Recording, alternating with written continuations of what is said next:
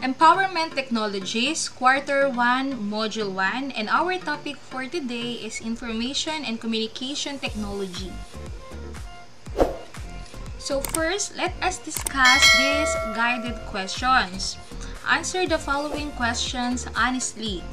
First, how many times have you checked your phone this morning? How many status updates have you posted in Facebook today? Did you use the internet for an hour after you woke up this morning? Do you follow a celebrity via his or her social media account? So please comment your answers on our chat box or in the comment section.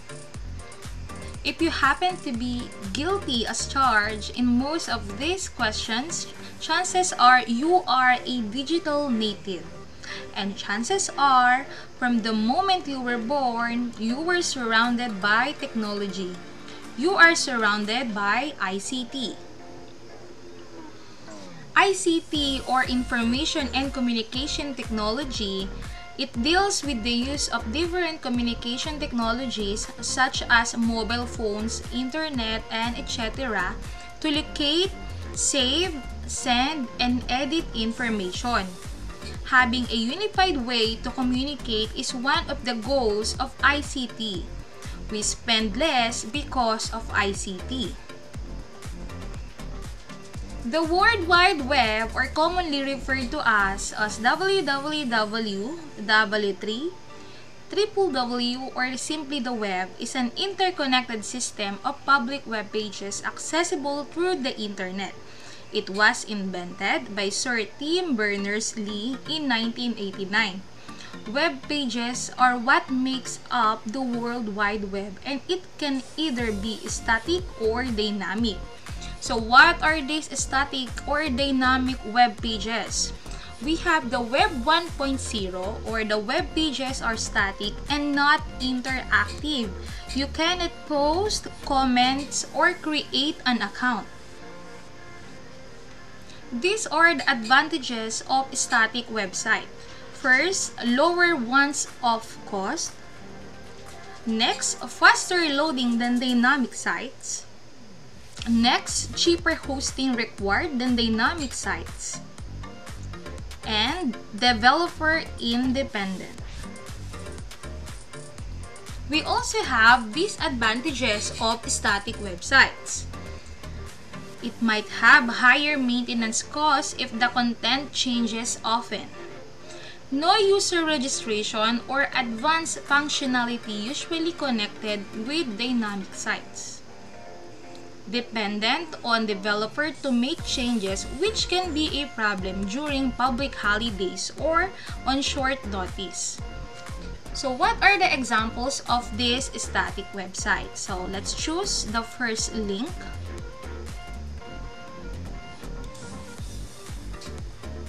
So you may check the other link for you to visit Alright, so this is the example of a static website. As you can see, this is more on read-only website. So more on text.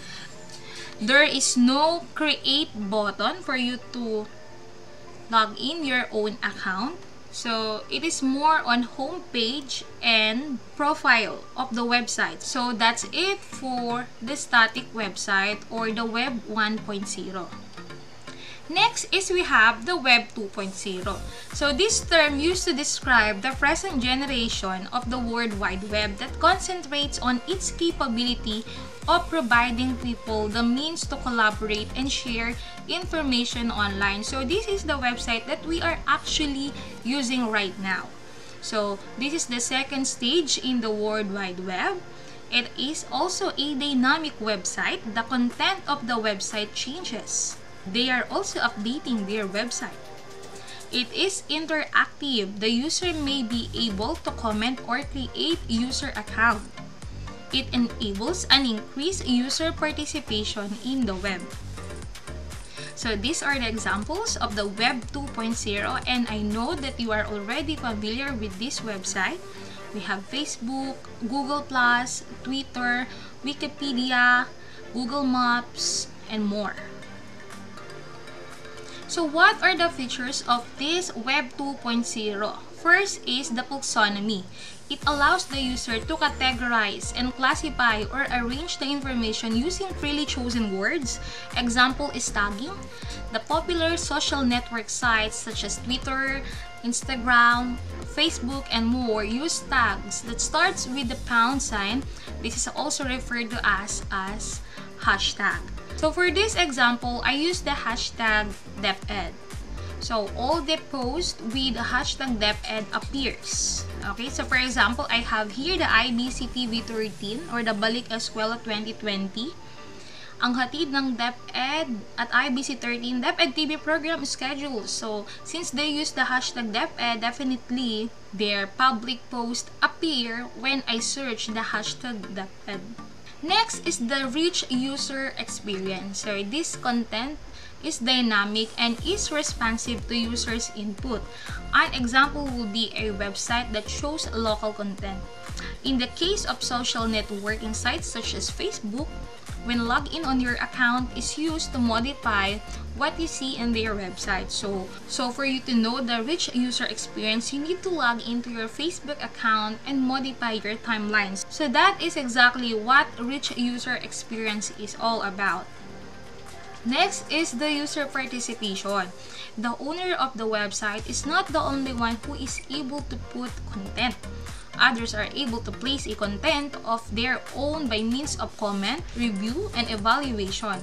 Some website allows readers to comment on an article, participate in a poll, or a review of a specific product. Example, Amazon.com or the online stores. But for me, I use the example of my Facebook page, Teacher Zai, wherein there are lots of comments and reviews for my post. As you can see, it reached more than 30,000 shares and 22,000 reactions.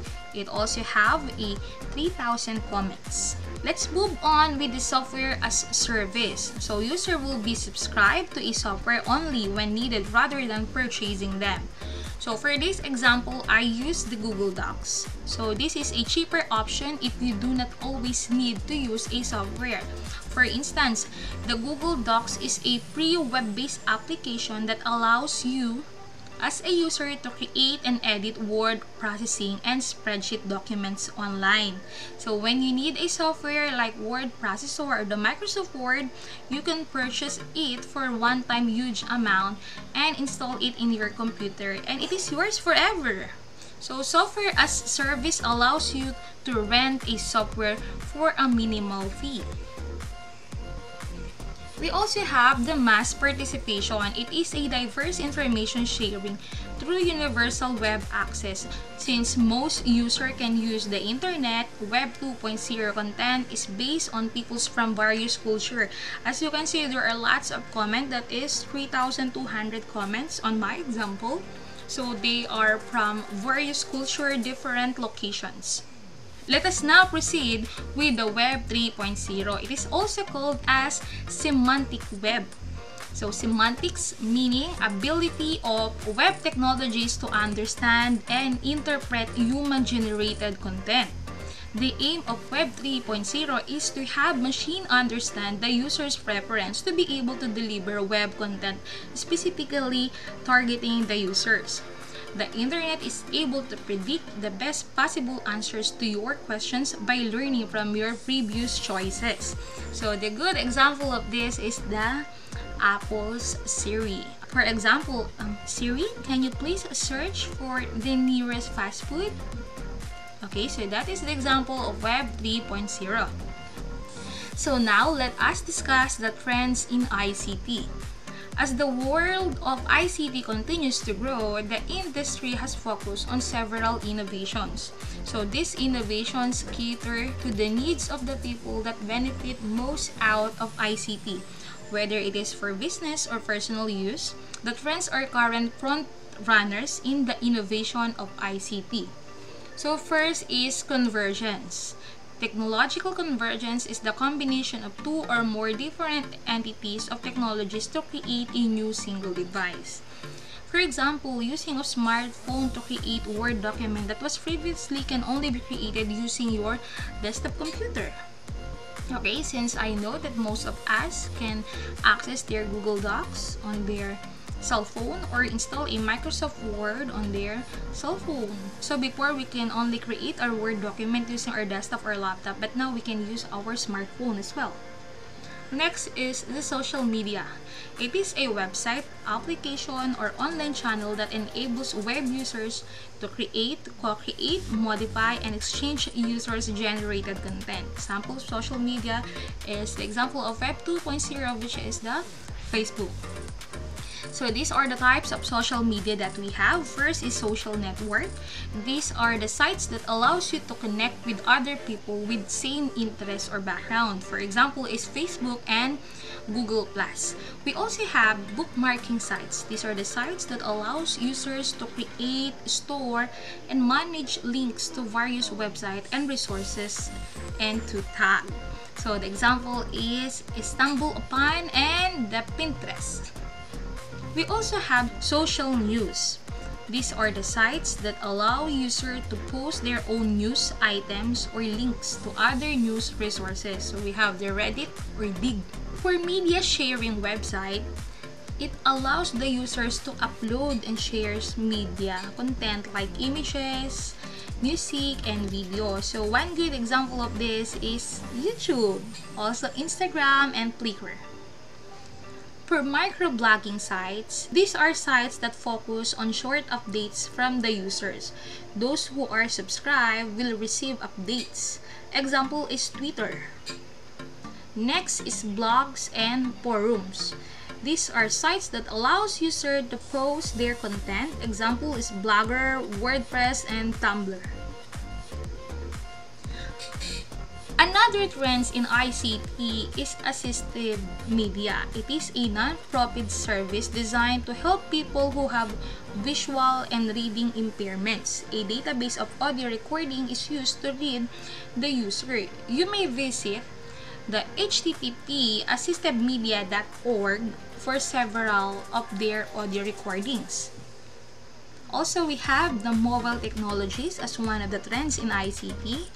The popularity of smartphone and tablets has taken a major rise over the years.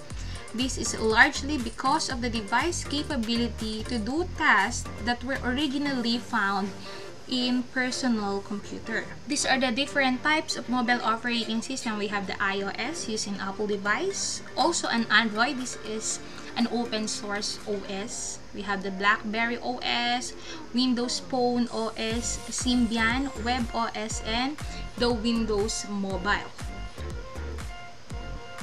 So, let's have our assessment for today. You can write T if the statement is correct and otherwise write F if the statement is incorrect. So first, Web pages that are the same regardless of the users are referred to static. Next, blogging sites are sites that focus on short updates. Android is a mobile operating system for Apple device. Taxonomy deals with information tagging. ICT deals with the use of different technologies to work on a similar goal or task. So let's us check your assessment. Number 1, true. 2, false. 3, false. 4, true. 5, false. Next, we have this activity differentiate Web 1.0 Web 2.0 and Web 3.0 in your own words. So these are the examples of answers. For the Web 1.0, we have static, not interactive, page view, most, read only. For the Web 2.0, we have sharing content, community focus, interactive advertising. For the Web 3.0, this is portable, smart application, and user engagement. So that is all for the Empowerment Technologies Quarter 1 Module 1 for the topic Information and Communication Technology. Thank you and see you on our next lesson.